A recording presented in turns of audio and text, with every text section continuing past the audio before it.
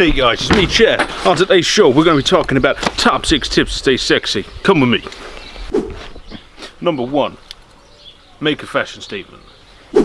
First of all, you want to get yourself a quality pair of boots like these, okay? Once you do, everyone's going to be looking at you. Second of all, you want to get yourself a big body warmer, okay? The bigger the better, the thicker the better. The bigger the puff, the better. And lastly, you want to get yourself a good cap, okay? Nothing is complete without the cap. Step number two, less is more.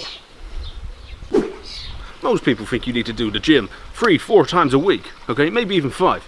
I say no. All you need to do is a simple exercise. What are these?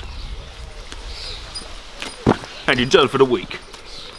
Step number three, eat a balanced diet.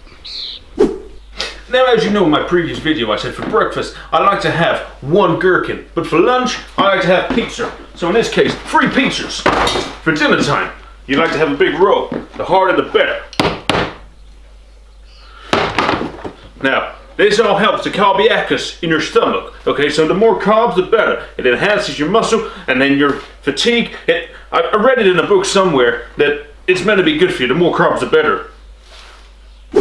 Step four, accessorize.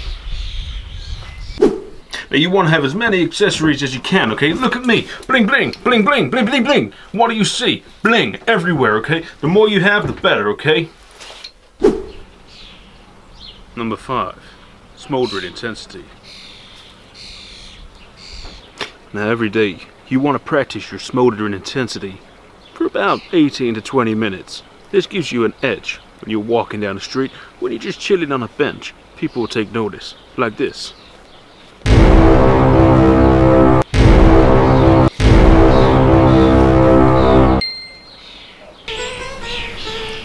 Step number six, relaxation. Every day you want to relax your mind. This helps you become even more sexy. I got myself a new pool to relax in. Okay? Why don't you use that one, Chad? That, it's my mom and dad's. This is my top six tips to stay sexy. I'll see you next time. My name's Chad. And remember, if life's a pyramid, I want to be at the top.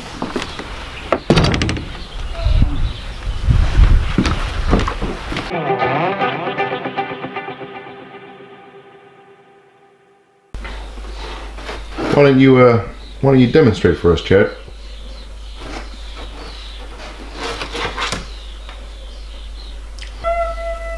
You okay, Chad?